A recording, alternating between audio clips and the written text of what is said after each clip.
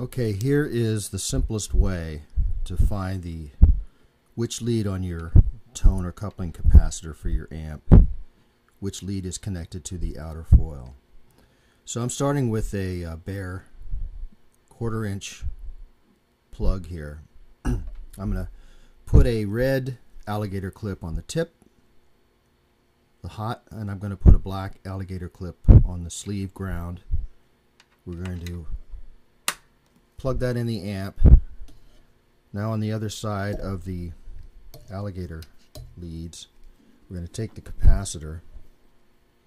I'm going to take the red hot side of the amp and connect it to what I know is the lead that is connected to the case because I can you see it right here. I put that black line in there because I can see um, that this lead here is the same as the case of the capacitor.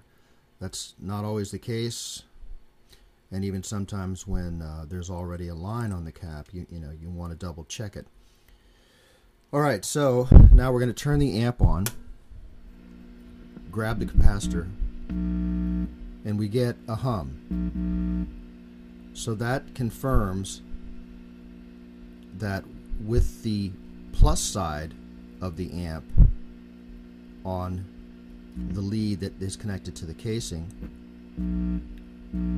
is picking up my fingers touching it. So that means, in fact, that this side here is the side that's connected to the outer foil. Okay, and if you turn these around the other way, you wouldn't you wouldn't get the hum.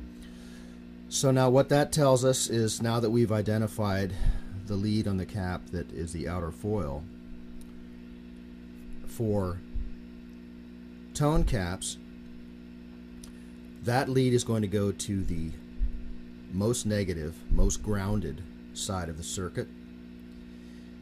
And in the case of coupling caps, um, this lead, which is connected to the outer foil, that is going to go um,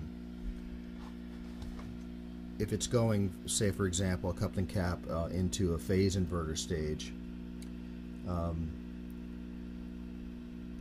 the, the lead side which is connected to the outer foil will be going to an input to a grid meaning uh, pin 2 or 7 and then the side of the capacitor which is not connected to the outer foil shield is uh, that's going to go toward a plate.